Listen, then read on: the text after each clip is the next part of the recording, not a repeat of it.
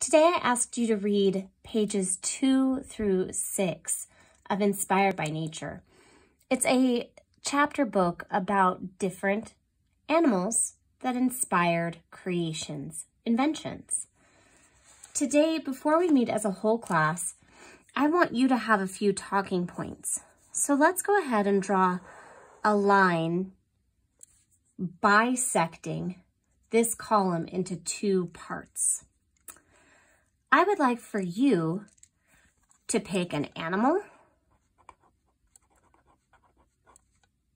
and an invention from pages two through six that you felt were interesting. I do know some of them are not animals, so if you choose the plant that, that was discussed, you can put plant here and that's spelled this way.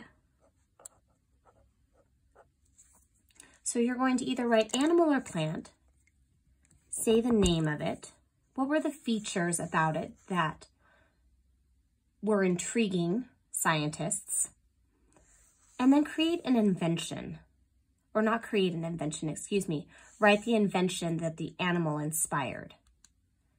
We're going to use these to share today in class.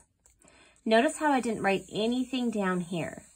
It's a lot of reading, so I want to give you a chance to think about it and take notes. Tomorrow we'll do this section.